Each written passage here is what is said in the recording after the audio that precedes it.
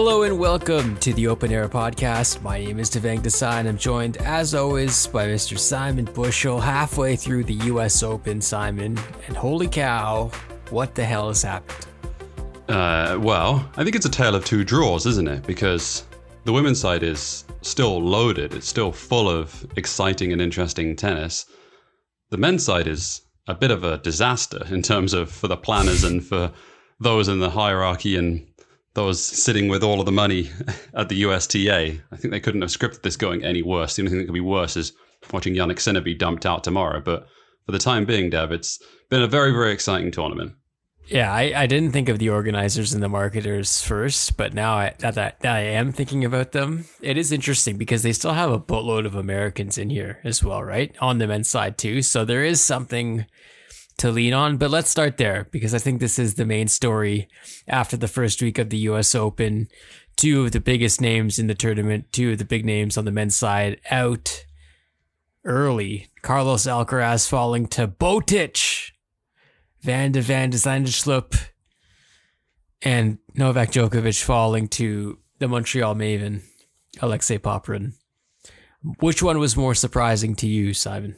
It's a really good question because from reading the internet, which is always a bad start, and also listening to tennis commentators, you would believe that Botic's win here was the greatest victory in tennis history, which to me verges on a little bit disrespectful. It has to be said. It it feels like a group of people that have never seen someone win at challenger level and hung around the sort of 50 to 80 range on the tour for as long as he has done he is an exceptionally good player, and to imply that this is some sort of incredible, massive shock uh, is, I think, a little bit disrespectful to him. Now, obviously, you can throw in the narrative around him wanting to retire um, just three months ago and all those sort of things. The dude is still 28 years of age, still ranked 70 in the world, still a very, very good player. I think one that, yes, is memeable because of the name and because of his attitude on court, but overall is a very, very good tennis player. And I think it is uh, exciting to watch someone like that play and get a big win. On the flip side of that, I would actually circle Alexei Popyrin's win over Novak Djokovic being more shocking, just given the nature of the titles that Novak Djokovic has won, given him coming off of a gold medal. I think both of us predicting him to make a very deep run in this tournament and perhaps even winning it I think the manner of which he lost this match and also the manner in which Popyrin played. So I would go with that one over the Alcaraz loss because Alexei Popyrin was was full marks for it, but Novak Djokovic looked awful, just truly dreadful out there, and uh, in a situation that we haven't seen him look like in a very long time. Yeah, and the the Olympics factor is the big one here. Normally, when these matches happen, like after the first set for Alcaraz, I assumed he would come back, and then as the second set sort of emerged. That looked debatable, even though I think there were some early signs of progress for Carlos in the second set. And yeah, the, the level of flatness is something we haven't seen from him really at this level in a long time. And just to zoom out a bit and understand, I guess, the level of fatigue that accompanies the whole Paris thing, it makes sense that we got this from him. And then I guess that leads to why I was so surprised about Novak a little bit. I mean, this is someone who's done this before. He's he's managed to somehow navigate the highest of emotions, the lowest of emotions. Like I, I felt like his experience would have helped him here, but he did really play bad. Like I, I think his serve has been an issue for him this whole tournament, even when he was getting through matches, and it continued in this one as well. So I guess the surprise is that like when Novak won the third set, I fully believed that he would win in five, you know, and the fact that he wasn't able to come through was shocking. Agreed. What should we say about Alexei Popyrin? Like, I think everyone was, I don't know if clowning that Masters 1000 win in Montreal. I think that's probably a little disrespectful. He did a bit. Although, given he did a bit, yeah. Absolutely. Um, and when I say people, I mean us. And so I'm just trying to cover my ass very briefly here. But it has to be said that was a, a win against the backdrop of the Olympics. It wasn't a loaded field. There was, you know, the extenuating circumstances behind why it occurred. I don't think anyone is saying that he uh, was a fluke for that title now. Did you see his comments after the match when he was asked which one meant more to him? I thought it was very amusing that he chose the Montreal title over winning this match because it was for a title and this was just a third round matchup against a random player. So I thought that was very funny. I don't think he meant it to be uh, throwing shade, but I took it that way. It's good. It led me to think about the opportunities now for the rest of the field. And as we speak, there's some matches going on, including, I think, a bunch of people who have huge opportunities, whether it be your Rublevs or Dimitrovs or Fritzes or Ruud. But another part of me thinks, Simon, like if if Frances Tiafoe is to win this tournament, it's better for him that he didn't have to go through Novak because if he if he were to win that match, he probably would have had to sweat out the the equivalent of Lake Ontario to accomplish that, and he would have been gassed going forward. But now that he doesn't have to play Novak, does his mentality change? Like I do think this is one of the most interesting men's side of a major in years because we do have a lot of. Uh, a lot of variables here, and and even the favorites have some baggage with them, including Jannik and and Daniil. Absolutely, I think you could probably make the case. Maybe, I think you probably could make this case. Let's go with it, and we can always work back from this point. I think you can make the case that everyone who is in the fourth round legitimately believes they could win this title, despite all of the the roads ahead of them and understanding that it's going to be difficult matches all of these players have won tour titles, have won at tour level. Um, they probably all feel like, given who's out and given the road ahead of them, they're not looking at any of these matchups and feeling like they can't win them. And I think that mostly works because I don't think that Tommy Paul is scared of that Sinner match in the fourth round. I don't honestly know that any of these fourth round matchups would be scared of each other. And I think that makes for some really exciting tennis. All of this against the backdrop that I'm really nervous that Alexander Zverev is going to win this tournament. It yeah. seems like the road is so yeah. open for him. I think everyone's going to look at that top half and feel like it's you know the winner's going to come out of there just given that Sinner and Medvedev are there. I'm looking squarely at that bottom half and feeling like, oh god, there's one name in there that stands out above the rest who has a really good chance of winning this now. That was a nervous chuckle for me, but yeah, in in sense in the in the sense of mission stop Zverev, let's put it this way: Who do you have the most faith in remaining? Because I think it's it's Med. It's clearly Daniil Medvedev for me. So I, I feel like that quarterfinal between Sinner and Medvedev, if they get there, the stakes are ridiculously high. Yeah, yeah.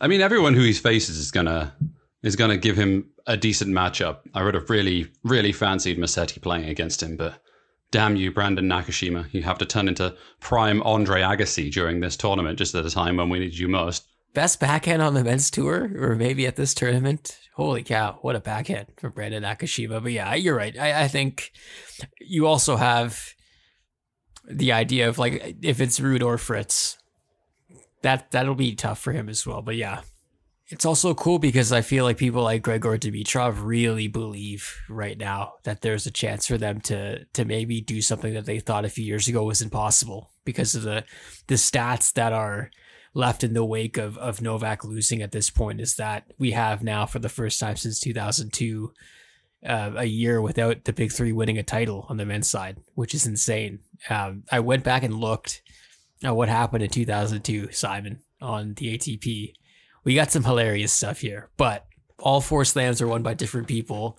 But three of those slams, that was their only title, the player that won, which I find hilarious and, and interesting. But for the sake of trivia, can you name who won the four slams of 2002?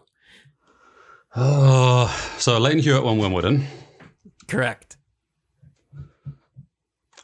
Uh, is that Roddick? Roddick 2003 at the US Open, isn't it? So it's not Roddick. It's the last hurrah for a great though. It's Safin, Safin win in 2002? It's Pistol Pete. Oh, it's Pete Sam- Sampras. Yeah, Sampras. Yeah, Sampras makes sense. French will be the year before Gustavo won. Uh, sorry, this, uh, it wasn't Kuerten, right? Kuerten won in 2000. Correct. Yeah, no, it was. Uh, yeah, it was another one-hit wonder. No, this one I don't know if you'll get, to be honest. Oh, man. He's Spanish, and he's not Juan uh, Carlos Ferrero. It wasn't Ferrero. Nope, it's not coming to the front of mind. Albert Costa. Right. Yes. Damn. And finally, of course. the Australian Open. 2002. He Thomas Johansson, or is that 2003? 2002, yeah, he beat Marat Safin. I get it right. It is Johansson, right?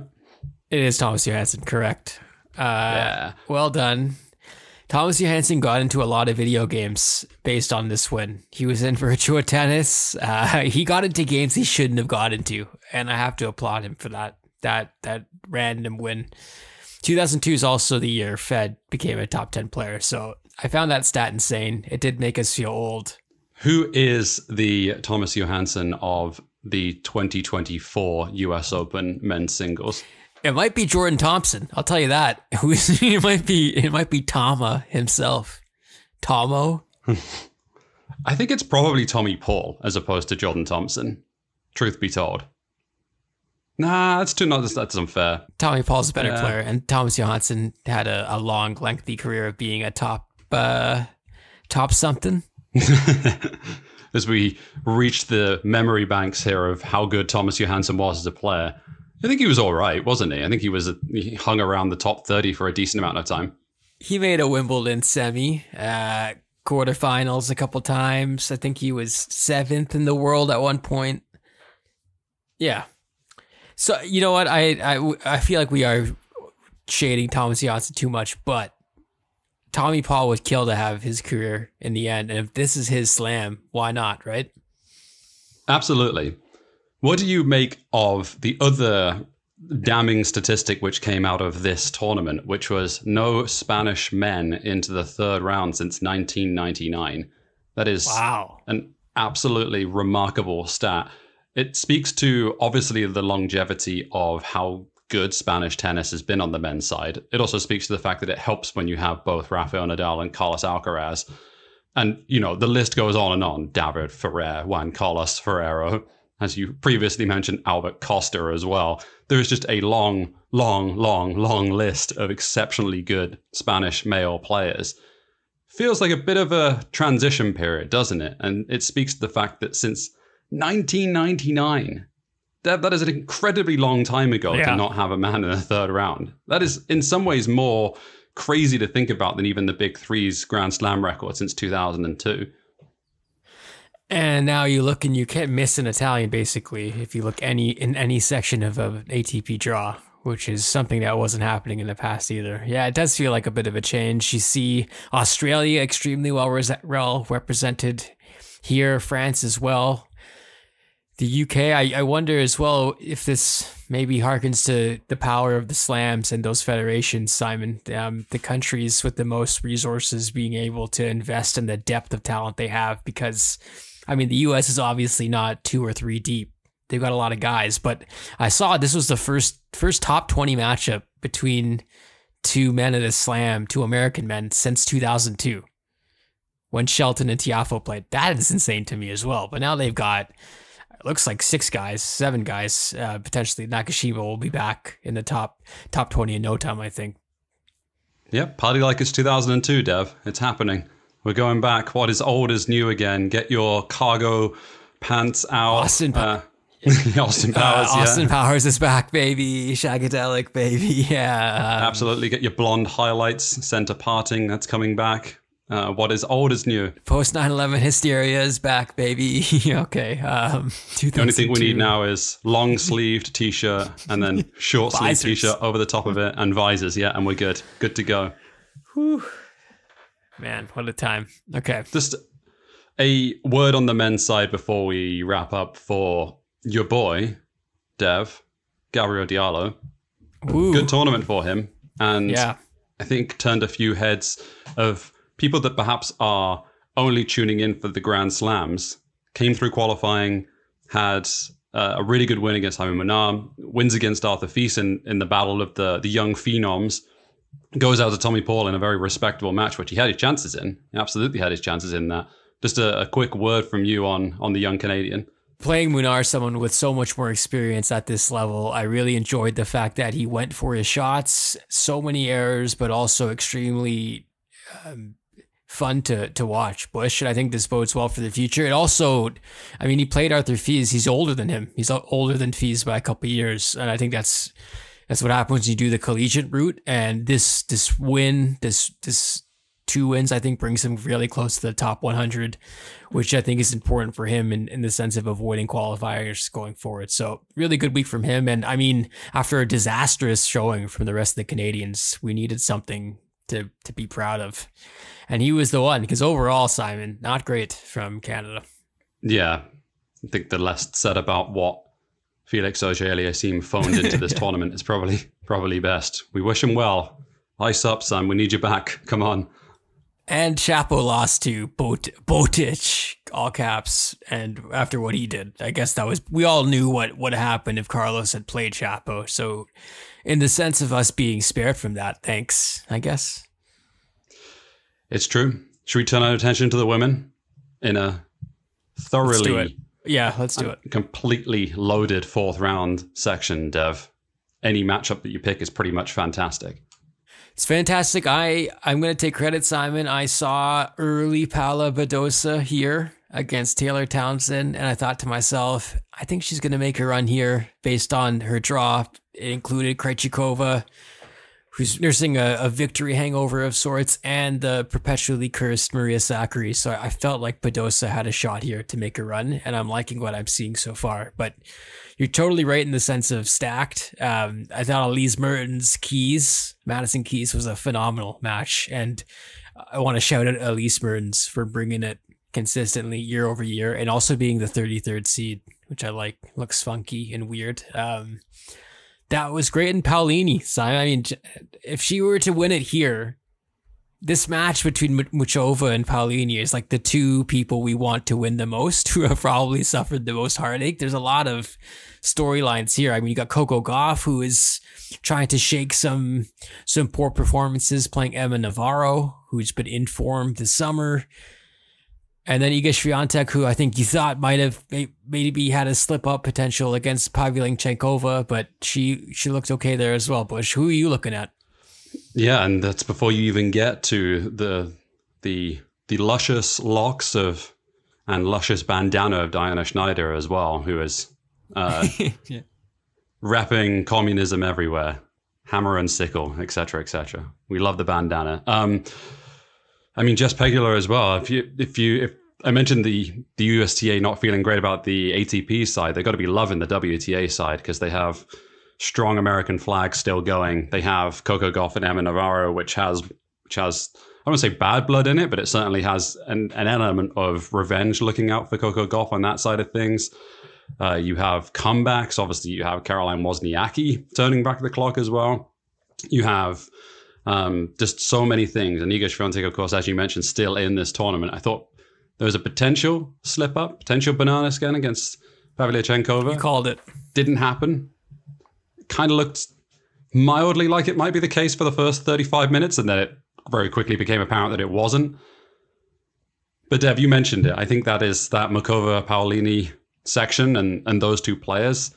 I think we both desperately want them to see a major just because of obviously the year for Paolini and the career of Muchova. Just a really, really good tournament, and every single section has great matchups. And I think you're eating well if you're a fan of the WTA here. You are curious what you thought from Sabalenka so far, Simon, because she felt like the favorite coming in. She had to play at midnight thanks to some curse scheduling and also I mean maybe good scheduling. I don't know when they could have put that faux Shelton match that wouldn't have um, impacted another match just based on how long it was going to go, but she dealt with that after a really shaky opening set against Alexandrova Mertens is a tricky one though. Like I feel like this these next couple of matches, should she get through, like you're talking the winner of Zheng Vekic, which should be an absolute barn burner. You got talking about bad blood. Remember the Olympics? That's that should be absolutely amazing. Yeah, absolutely. Well, maybe we got bad blood. Felt like an old Taylor Swift reference is not appropriate here in any capacity. Boo. Yeah, totally. Absolutely. Boo that man. Um Sabalenka's look fine to me. I think there was. I, if you thought that she's going to win this title before the tournament, I don't think there's anything that you've seen here which would disprove that. I think she's looked completely, completely fine. I think. I don't think Mertens is a big problem for her. I really don't. As much respect that I can pay to Elise Mertens, who are a player that we both mm-hmm. have a huge amount of respect for and, and love immensely, but Sabalenka's on a different level at the moment. I still think she wins this title. I really do. She looked she looked great, and of course has that Sabalenka uh, double, the mini Sabalenka in the crowd as well, dressed like her. So yes, she has good vibes going as well. Potentially, if if she does win, it's it's you beat Mertens, then you beat winner of Zheng Vekic, then you beat potentially, let's say, Coco Gauff, and then you beat potentially, let's say, Iga Swiatek. That's a hell of a road to uh to another slam. She'll be full value for that. Yeah, she will. But Swiatek has to get through Samsonova as well, right? Which is it's a it's a, a matchup which has got its well, he, problems as here's well. Here's something. Here's something for you. Even with Sabalenka uh, dropping a set and, and those conditions aside, I feel less confident about Iga, you know, and she I think she has less star power in her section of the draw. But I feel like Diana Shnaider and Jess Pegula have been extremely informed players this summer. And Wozniacki might be I mean, is she the most dangerous not unseeded? Yes, definitely. But I mean it's it's funny when the draw came out, it seemed like there were so many other things to pinpoint maybe in in and around that section, whether it be Rybakina's health, um, or or looking at a potential quarterfinal against uh, or uh, against Naomi Osaka. But the fact that Wozniacki has looked this good, I, I think it's it's a bit of an eye opener as well because from both wings, especially on the hard courts, she feels like someone who has the ability to hit with a Sabalenka as well. Yeah, I agree with you. Wouldn't it be a turnout for the books Devang, during an Olympic year that we get the most random two winners on of at the US Open. It definitely could happen. I don't think it will happen. I think there's still enough. I think the the top players in the WTA are, are still playing well enough that I do back them to make very deep runs in this tournament and for you know, I think one of the favorites to win it. That said, if we are sitting in a world where the men's side is won by Tommy Paul, and the women's is run by Paula Badosa. Why you laugh? See, yeah, like that's not a that's not a ridiculous no. situation to predict, given all the things that have happened and how compressed the schedule's been, and just everything that we've seen so far in this tournament. I could certainly believe it. Also, imagine the synergy there: Tommy Paul, Paula Badosa. That's fantastic. We got to stop laughing when we mention some of these names and and then slam winner. But I think this is what the culture has made us do um, in that big three era, that cursed era. Bring us back the era of Thomas Johansson winning slams. Damn it! Um, I I will ask for your picks then, your revised picks. I, I think I picked Novak, so I'm gonna have to pick again on the men's side. But on the women's side, are you sticking with Sabalenka or are you changing? It sounds like you're not changing. I'm not changing. I still think Sabalenka wins this title on the women's side. Yep. And men, are you going Sin Man? I'm picking Alexander Zverev. I think he's going to win this tournament. What? Mask off? Mask off? Is, is this a, res- a reverse jinx fall on your sword thing? I don't want him to win. I just think he will win. wow. I'm shaken to my core. Um, I, I'm going to switch my women's pick to Paula Badosa, unironically. I want to see it. I want to see it. I want to see her soar like a phoenix post Tsitsipas. Um, so I'm going Badosa. And then on the men's side, I think the center Sinner Medvedev quarterfinal, if we get it, knock on wood, we get it. It's going to be a knockdown, knockdown, drag them out, leaving both of them phase. So we're going to get a, slim, uh, a winner from another feel good force it's Grigor Dimitrov. Bold pick doing it live as he's playing a match that he could lose, but I'm picking Dimitrov to win, Simon. I think everyone would love it, would they not? You see during the course of the week they asked a bunch of players who they would most like to see on Love Island, and Grigor Dimitrov was the overwhelming choice on that. So clearly, fan favorites on. He out. is a fan favorite among the players. Will he t- ride that emotion to winning this U.S. Open title? I don't. I don't think he's looked that good. I have to say, despite the cleanliness of his no, wins. he also he looks quite tired at times. I, I listen. I, I, I want anyone from that section to take out Zverev and win, and I have a feeling Medvedev's spinner. You know, Med Med's fitness is an underrated quality about him, and I love his doggedness. Like I do think he'd get up to take out his Zverev in the final. So like I I won't discount him, but Dimitrov also doesn't look 100% like health wise as we're watching him against Rublev, who have you noticed Bush when Rublev is yelling at his box? Often his box is as confused as all we all are. Like, isn't that concerning that they don't know what he's yelling about? Yeah, it's not very enjoyable to watch him play at the moment, given all bad, of the man. It's horrible. histrionics that comes out of the the Russian's mouth. I think uh, I was listening to Naomi Broady, who was being interviewed on the BBC, and she referred to it as just a player that has you uh, as a player who you can tell from watching from the outside wants it so badly that is unable to control the emotions that are coming out of him. Yeah. Like it's it's obvious when you say it like that, but at the same time, this is not a young kid anymore. This is not someone who is still trying to learn his learn his craft and is still new to the tour. This is how many time quarter finalists is he a major? Eight, nine? It's a lot anyway. To the point where the expectations are that I don't think it's I don't think it's great when you're continuing to throw your toys out the pram and completely lose your head that you think that's going to help you getting over the line to a semi-final. Maybe try something else at this point. Bam. We'll leave it there. When we come back after the break, parting shots, we talk about outfits, the good, the bad, the fugly, Dominic Thiem, Sinner's, doping scandal, plus Jess Pegula takes a subway. All of that coming up next on Open Era.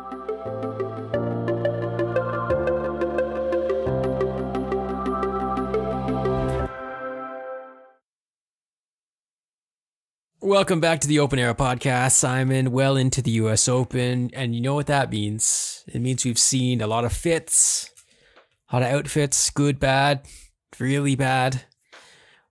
But I think Naomi Osaka's outfit stole the show a lot of comments on this this frills, no frills. I don't know what you want to call it, puke green, um, the green mistake. But uh, what are your thoughts? Yeah, and you left out the most important part was the bow on the back of it as well, wrapped up like like a present. Sure, I guess. I thought it was all right. I kind of liked it. I don't know why it got some of the hate that it did. The color, uh, you know, if it was any other color, I would have been okay with it. There's something about that color that literally made me sick. And I, you know, I love Naomi Osaka, big fan, but um, I don't know what Pantone color that is. I don't know if you could buy that legally or you have to get it on the black market because it's so hideous. But no, I'm not in. I'm not in it at all. Did you see the outfit, the the Jess Pegula fit, the Adidas purple thing? It's terrible. It's okay. So I, I, it's worse than that. It's and that's the thing. Like I, as much as I berating the uh, the Nike green puke fit, that Adidas thing, the purple thing, it's maybe the worst thing I've ever seen. And I'm not even being like clownish about it. I mean this full full heartedly. Against the backdrop, of course, that we are clearly not the target audience that they're pitching to here. Um, I don't I didn't I didn't care for it. Put it that way. And it's true. And I, I I'm asking people every day that I see, do you like this? And they're all saying no. So that must mean the bowling works. I did, however, quite enjoy the Ben Shelton shirt, the on running one. Yeah. It's doing yeah. the rounds. I believe it's sold out. I saw.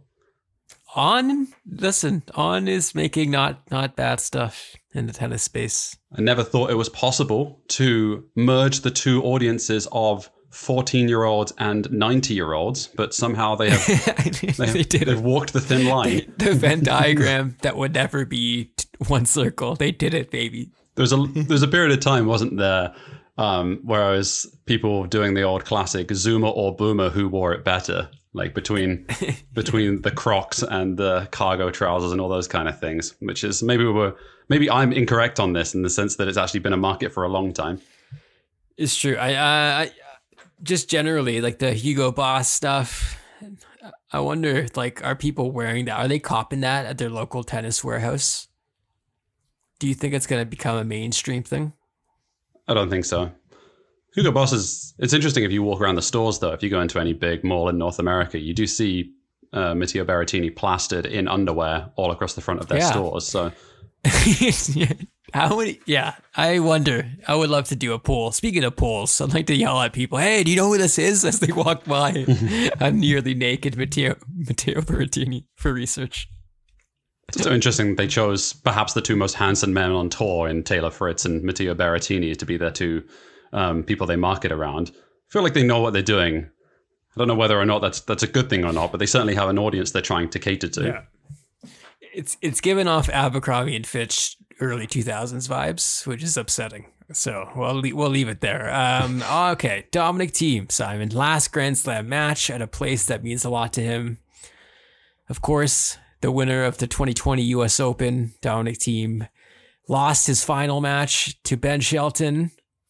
Simon, what do you think of this? I'm glad they gave them Ash. I did think the it was a bit weird because it was in the daytime, so it felt like a bit like they were playing him off um, Oscar style when he was doing his speech at the end. But Dominic Thiem gave it his all. Clearly loved the shit out of this game and was really good at it. But like like some greats before him, his body wouldn't allow him to keep going. Really glad he got that one though. I know it's it sounds kind of how um, hollow saying this when when he's having to stop early, but it is really important. I think in in the sense of like tennis history that I think Dominic Thiem got one because he pushed a lot of these guys to the very limits and won some awesome matches. Well, I think he's an interesting person as well, simply because from from a personal standpoint, from a podcast standpoint, I think we we were around at a time of watching him. I mean, this this podcast kind of bookends his career in some ways, the top end of his career. Because I remember yeah. I remember talking yeah. about that ascent and like distinctly remember myself saying that I thought he was the best player in the world. I thought he was a world number one in a period of time when Roger Federer, Rafa Nadal, and Novak Djokovic and Andy Murray were still playing, like, and still at the top of the game. That's how good I think Dominic Thiem was for the period of time that he ascended to the top of the sport, 2019, 2020, uh, even 2018. You can make the case as well. Like he was, he was like he he he was the dude, and I think that's somewhat lost on the fact that we've seen so much of his career derailed because of injury and the fact that he was kind of a late riser as well. He had to work very, very hard to make that transition between being a, a someone would say a clay court specialist to being able to play on all surfaces. I think he is going to get unfortunately lost to the annals of history. I think he's going to be a bit of an afterthought on the men's side, and I think that's a bit of a shame because he was so so good. And the downfall yeah. from there because of injury and what we've been robbed of, I think is really, really um, sad. I think it's really, really sad because I think we all enjoyed watching him play, and it was nice to get a, a send off against uh, a young kid in Ben Shelton who was very gracious, magnanimous in terms of how he um, encouraged the crowd to to wave Thiem off as well. So we've lost a good one there. Hundred um, percent. Quickly, I, I wondered who do you think leaves a larger legacy in the game, Del Potro or Thiem? I don't know. Probably Thiem. I wonder if if Delpo not being European pushes edges him out for me because I think the other th- other thing about being an outlier during this era is that literally he was all European people winning these these titles and Delpo kind of managed to disrupt that uh, and he was kind of a, an outlier in the sense of like the size and style of him like I wonder if that pushes him slightly ahead, but I think it's an interesting question because they're not in that Wawrinka's tier, right? No. So I, I think they're they're a step below. But food for thought for our listeners out there. But I think that's an interesting question as well. Is that what what do you pick? Do you pick the heights that someone achieved in their career? Because I think we would we would both claim, I think rightly as well. I don't think this is controversial to say that Wawrinka's peaks are much higher than than Thiem and Del Potro's, just given that he ascended to be yeah the greatest player in human history to win his three Grand Slams. Um, but I think I think Thiem and Del Potro had more longevity in their career in terms of being at the top and winning matches in that position. Yeah, an interesting one, an interesting comparison point. You know, three outstanding, excellent players, but very different in their own right. Jannik Sinnerbusch surviving, not looking good at times, but making it through when when his peers were not. Obviously, dealing with the doping stuff though, uh, in front of the cameras, doing some press. I saw ESPN had like a big sit down with him, and they went through it all. But um, I did think Med, as usual, had some interesting comments on the doping stuff. He did. You see, the ESPN sit down with him was referred to as a presidential puffball sit down interview, yeah. which I thought it was really funny. I can't remember who said it. I apologize that I didn't bring it with me. But I think Danny Medvedev had some interesting comments on Jannik Sinner just sort of I think honestly echoing a lot of the same things that we were saying on the podcast last week, just around the idea of by all accounts the the rules were followed, and then the question comes down to whether or not you believe the rules are fair, and whether or not there is equality in those uh, in how it's set up. He ref- a very very specific thing that he referred to as whether or not a player ended up with cocaine in their system, which I did raise my eyebrow slightly, but I understand the point that he was trying to make on it. Um, and in short, that version being if they come to you and uh, the testers that being and say we found cocaine in your system and you're like well what what the fuck? I don't know where i don't know where that would have could have came from then they'll just suspend you because you don't have a good case to go um, ready. Like you don't have it available to you. And in that situation you are you are punished uh, which again makes this whole thing with sinner seem so so convenient that you just had this perfect excuse ready to go and you knew you were ready on the spot and all your team yeah. was ready to go. Yeah. I don't know, man. It seems all a bit a bit too convenient for me.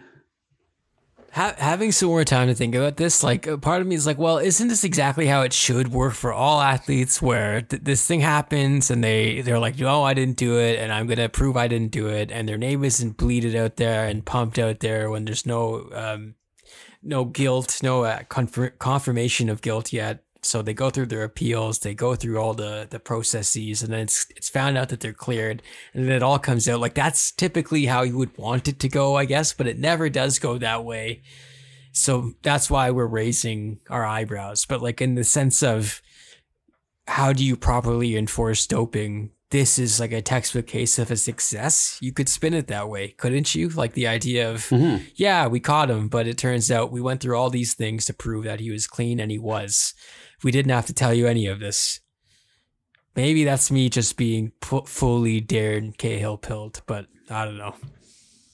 I think you're right, though. I, I, think it's kind of the point that I was trying to get at last week, which is that I think the system worked. I think what they were, when they were writing down on the whiteboard and they sort of had the goals that they were trying to achieve, I think they wanted to keep players anonymity intact if they'd failed a drugs test, give them the opportunity to um, to sort of counter that and appeal that in a space where they would have time and available to do so, and then to allow the players to keep playing until the resolution of it. And I think that everything happened here correctly. It's it's more to the question of whether or not you yeah, there's the two parts: whether or not you actually believe what Sinner is saying in the camp, and whether or not you have faith in the system. And then there's of course the the question of equality and fairness of whether or not everyone has the ability to to defend themselves and can get uh, the same legal advice and the same legal um, uh, defenses that Sinner had available to him, and whether or not you could do it on time as well. All of those things are, are very up in the air.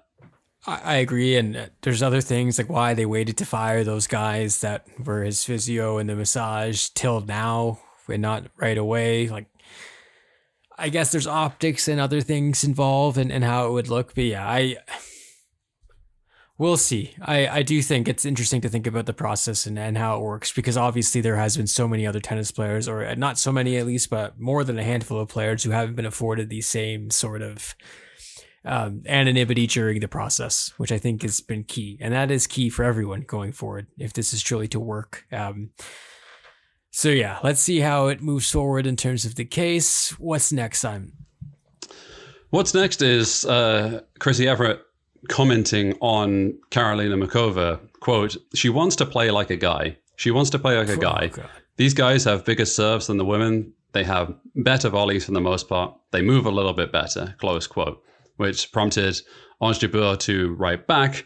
Muchova is an amazingly talented player. She doesn't have to be a guy to have a great serve, volley, or movement. Can we please stop stereotyping based on gender? Dev, let me ask you this question. What the fuck was Chrissy Evert thinking on this? Uh, it's bad, man. I have a bad update on the the power rankings or tennis commentators. Cliff, Cliff Drysdale has surpassed Chris Evert in the power rankings. I didn't think I'd see the day, but Cliffy has moved ahead of Chrissy in the tennis power rankings for commentators. During the course of the week, I uh, went with a colleague of mine to go and pick up a table Um, there is a there's a story behind this, I promise you. And the guy that we picked it up from was the I could not have picked a more perfect embodiment of a tennis fan, of a guy living in a in a in a beautiful house in the west side of Vancouver who was wearing a Roger Federer hat watching the US Open. and I was chatting to him about it because I had some time while like my my colleague was taking the table apart and putting it in the car. And he I he did not know anything about what was like the player's um backstory or anything to do with it. He only watched the tennis. And I think when you look at it through that lens, you only hear what ESPN wants you to hear. Like, yeah, this, mm-hmm. the, he, like he, he literally, this is a guy who watched every Grand Slam and every Masters. He didn't know that Jannik Sinner had failed a drugs test. And like, that is remarkable to me. Holy cow.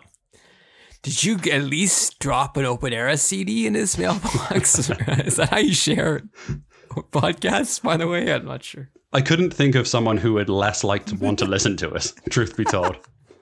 I just I just gently encouraged him to listen to the tennis podcast and moved on. Hey buddy, open a newspaper, maybe. How about that? Something which more fits his target demographic, yes. okay. Video review, Simon.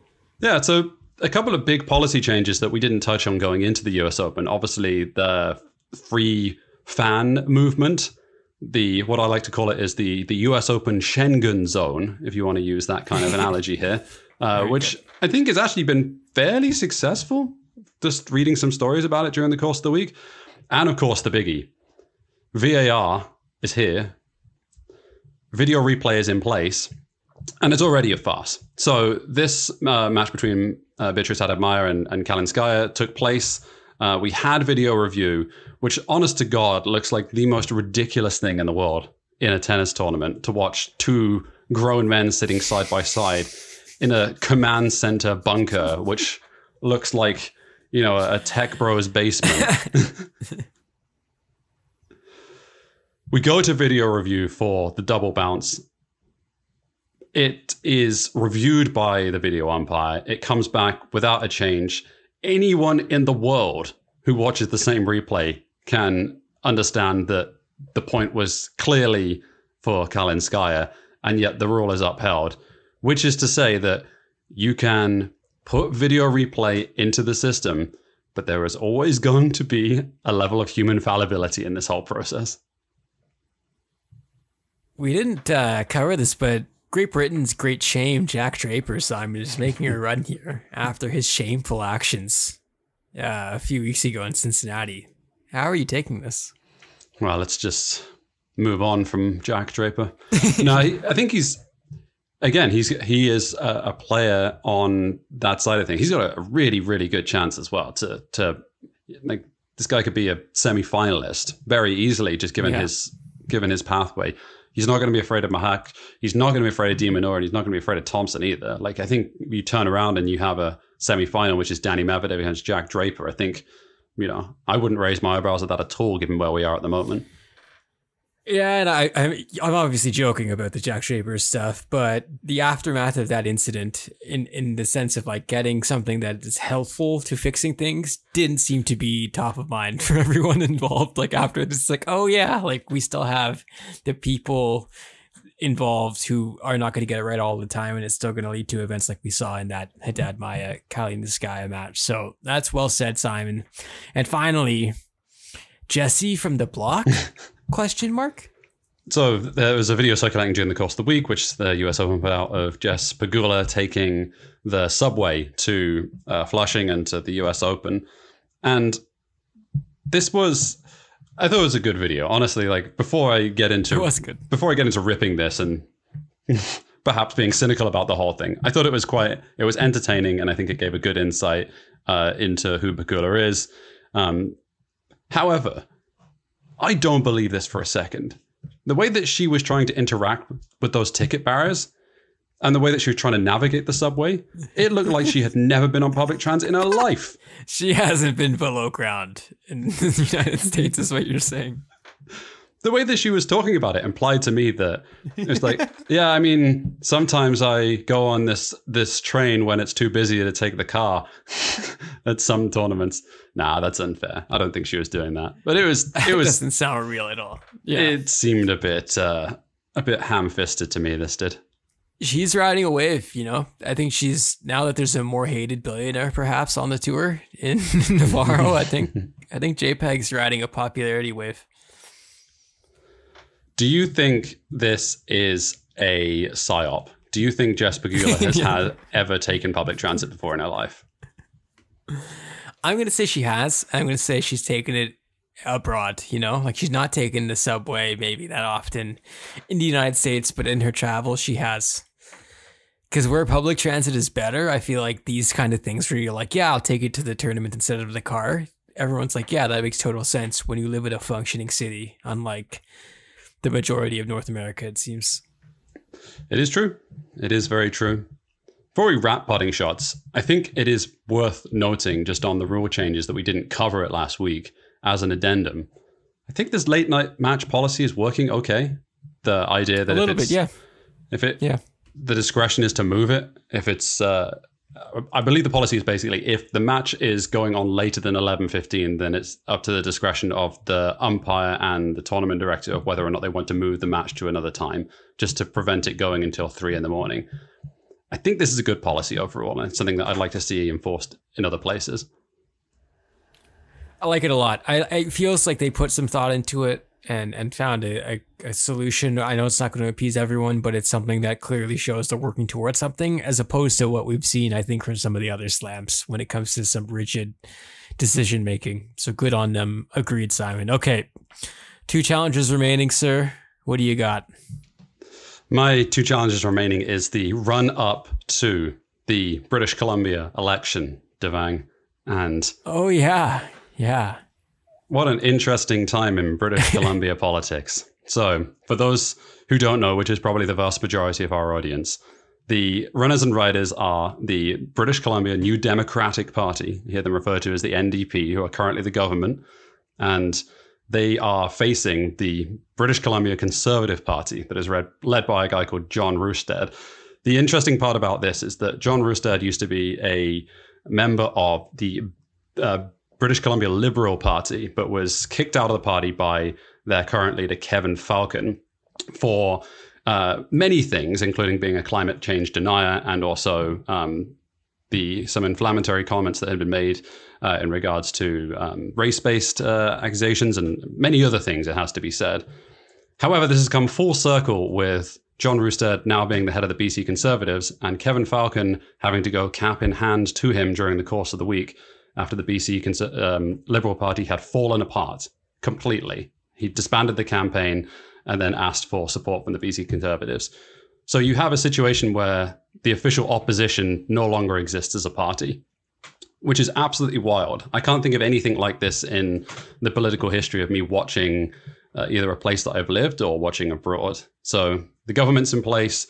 There is an official opposition, but their party no longer exists. And who knows what's going to happen?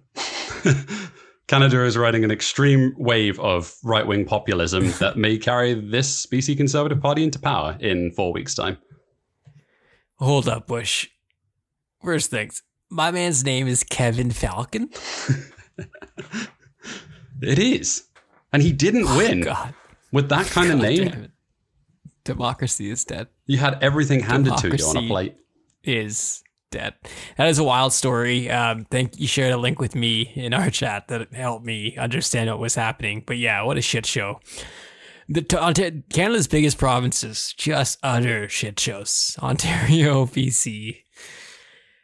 Collect your boys, Canada. What is going on here? It's about to be one hell of a rightward swing in Canada across the whole. Well, I don't, I don't know if that's actually true. I don't think Ontario has well, the ability to go any more right wing. Yeah. And I mean, with the incoming likely conservative win at the federal level, maybe we'll see a swing back provincially, hopefully, to counteract.